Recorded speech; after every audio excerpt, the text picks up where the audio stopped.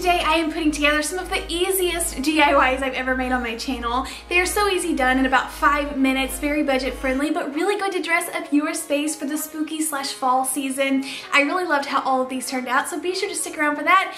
Please leave me a big thumbs up and let's go on into it.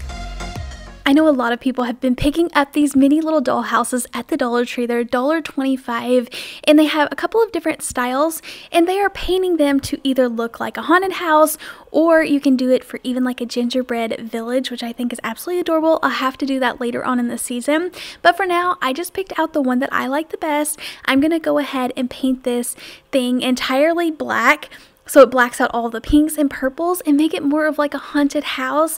Now I am using this piece of wood from the Dollar Tree and I am cutting it in half. I just marked where it needed to go. I do want to purchase me a new miter box and saw because somehow my saw is kind of getting bent and probably just from laying around I don't put it up like I need to and um, I need to purchase a new one. But I managed to get this cut in half or cut to the length that I wanted. I wasn't worried about it being perfectly even.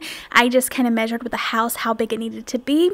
I'm going to be putting these just like they are on frame right here. I'm going to glue it together so that the house will glue in that little corner or angle to make a little bookend. So the first thing I did after the house dried was glue these little spiders on there. I keep talking about these spiders in like every video. You guys are probably tired of spiders, but um, I just think they are the cutest little thing. They add so much detail. I even took my hot glue gun and put a few faux like fake cobwebs around it by putting a glue dot on the back and letting that hot glue string. I never thought that I would use my hot glue strings in decor, but I've been doing that a lot this season or this year and it looks really good. I painted these gray, but you could paint them, um, stain them wood color. I think that would look really good with the black house as well. But glued these together, put the house in between there, and this makes the cutest little bookend. You could also make two, set some books in between them, but really like how this one turned out.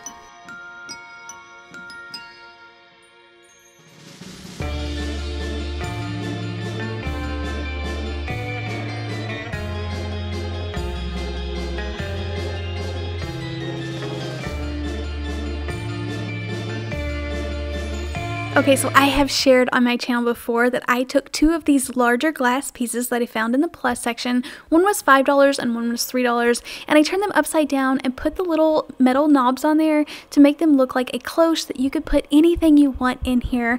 But for this one, I'm not putting items inside this time. I'm actually going to be cutting out a little ghost face using my Cricut. You don't have to have a Cricut for this. You can definitely just cut it out or use a Sharpie to literally look up ghost face on Pinterest and just copy that just freehand it, but I cut them out because I wanted them to be perfect. This is something I'm going to be decorating with and put them on the jars or the glass containers and then fill this up with some stuffing just to get a nice white background to look like little glass ghosts.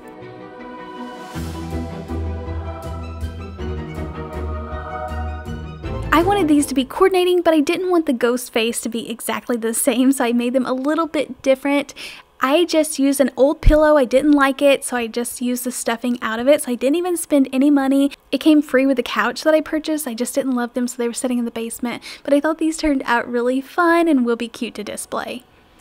Thank you.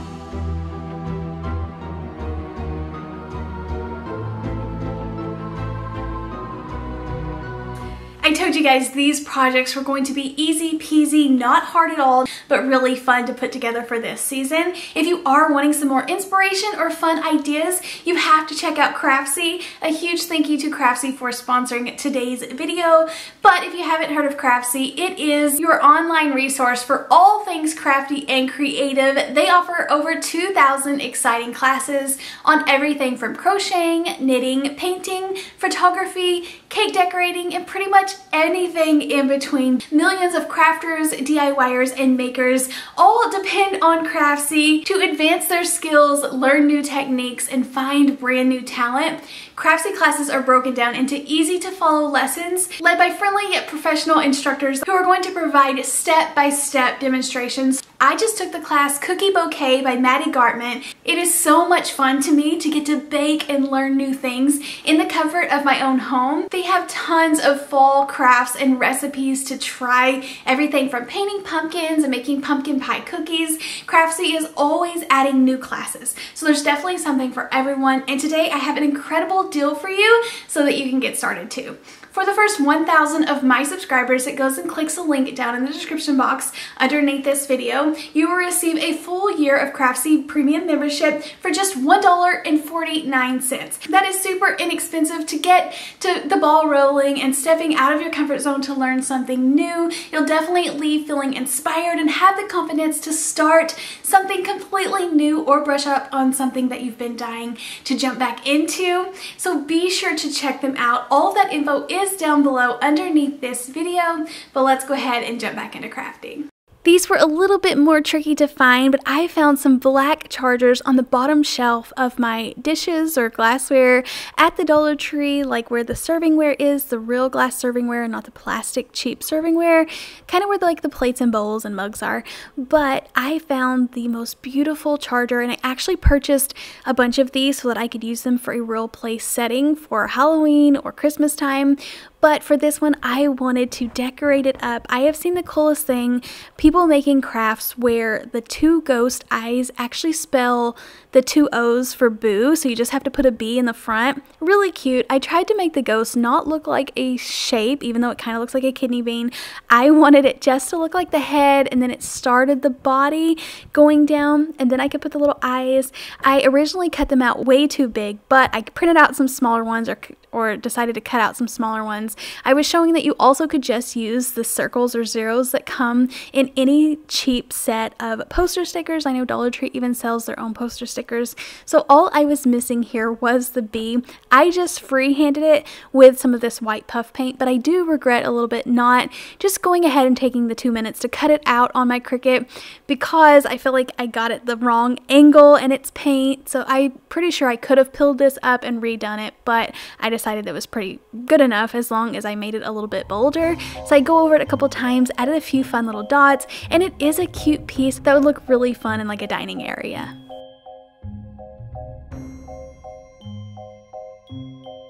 I had the best idea. Whenever I saw these really fun high-end vases at the Dollar Tree, I thought they looked like two O's, so I thought I could spell boo. I did have to go to the craft store and pick up a larger B letter just because I couldn't find one big enough, inexpensive enough to go with this set to make it worthwhile but I ended up, I think this one came from Hobby Lobby, just a couple of bucks. I ended up painting it black and it was a little bit taller than these vases, but by the time that I put the flowers in the vases, I feel like it was the perfect sizing. I only found a gray and a black one at the Dollar Tree, so I instead of painting them all black, I left the one gray, but I did make a project a couple of weeks ago um, just spraying a little bit of stone paint on this gray one. So that's the one I traded it out for. And I feel like it just added so much. The dots look black, so it coordinates with the whole boo thing. And then these are just Dollar Tree floral picks that I found in the Halloween section. So put a few down in there and thought these turned out so fun. Definitely my favorite project of the video. Ever since I found these little ghost ornaments, I knew what I wanted to do with them. I just hadn't had a chance yet, so I'm finally getting to it in this video, but I wanted to create a garland. Now you could start with a piece of jute twine and tie some fabric on there and start with nothing, but in the plus section I did find this pumpkin garland for $3, so I thought it was the cutest thing to get to add these two and it's going to add so much with the larger better pumpkins on it than anything that I could have that would be in my craft room. So I just started by taking thin jute twine and tying a ghost in between the pumpkins and then going back in and tying some of the colorful little ornaments in between the ghosts and the pumpkins just to add in as much color as you wanted to. You still could take pieces of colorful Halloween fabric and tie it in between here or add in a, a, set of string lights to really dress it up. But for me, I have so many lights all over my house, I thought it would be fun just to make a plain one and really just add in that purple and orange color for the Halloween season. So after I got these all tied on, it was ready to display. These are super cute, makes a perfect background or lay it as kind of a garland along your table, but a really cute piece.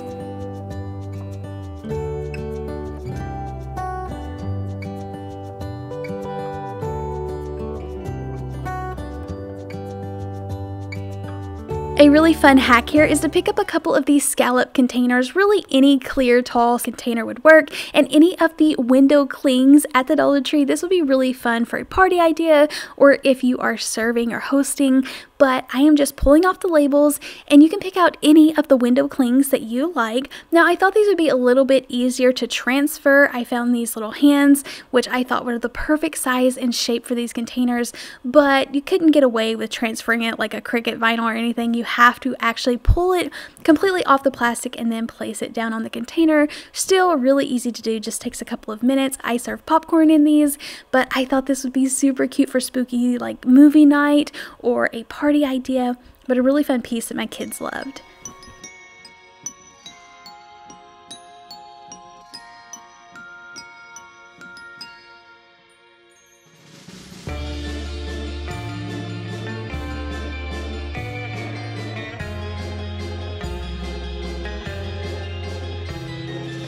If you grab one of these gorgeous dishes from the Dollar Tree, you can fix it up for Halloween. I just think this one had so many detail on it. it was really fun. Kind of look antique or vintage to me.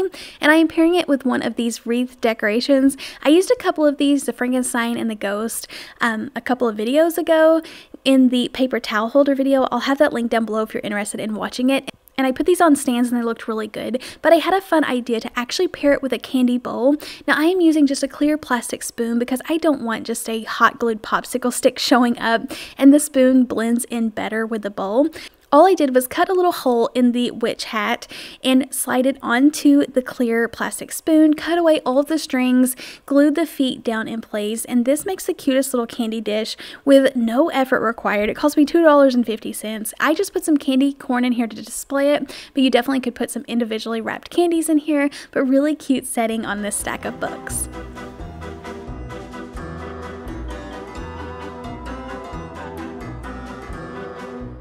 I love taking apart these Dollar Tree Halloween signs, especially ones like this that have these little potion bottles. You can use this for tabletop decor instead of wall decor. Just me personally, I don't love hanging these signs all over my house. Maybe if I have a shelf with hooks on it, I might put one up there, but it's not like I want to put a bunch of holes in my walls and I'm not taking down my big decorations to hang up these little signs. So let me know in the comments down below, what do you do with a Dollar Tree sign? But like I mentioned, like if you have like a coat rack or a set of hooks already hanging, you can easily pop these on there. But for this one, I wanted to take all of those potion bottles off and make like a fun little row of potion bottles. I have seen things like this at TJ Maxx that always goes for like 10 and $15 and we can make this really inexpensive. At Halloween time, I love like the witch themed and cauldrons and little potions, kind of Harry Potter items.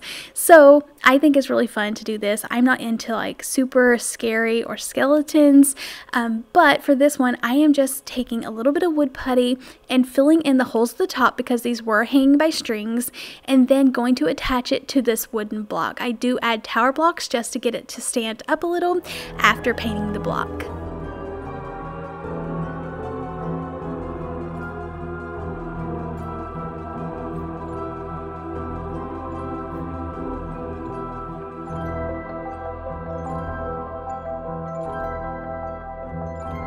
It's no secret that these huge wooden decor ghosts are one of my favorites. I've used them in several different ways, but for this one, once again, not wanting to hang any of these on the wall, I am always looking for a way to put items like this on a stand. I fill in the holes at the top with some wood filler, let that dry, and then I'm going to paint these white and cover their faces.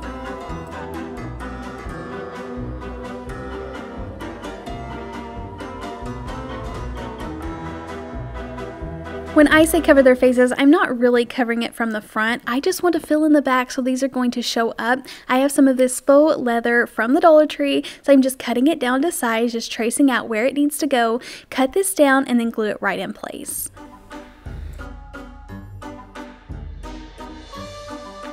I tried to use a glue stick just so the hot glue didn't melt with or destroy the faux leather any, but it didn't stick at all. So I ended up having to use the hot glue, cut the little corners down, and then just using any small piece like this from the Dollar Tree this was perfect because it had this nice circular top that I could attach to the ghost. It's already on a stand. I don't have to worry about gluing anything or drilling any holes.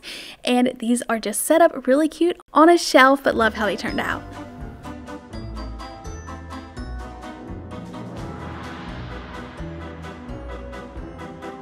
You all so much for watching today's video. Remember to check out Craftsy and get inspired to try something new. The first 1,000 people who click the link down below will get an entire year of Craftsy premium membership for just $1.49. Be sure to go check them out and learn something new. Thank you all again for watching and I'll see you in the next video. Happy crafting. Bye.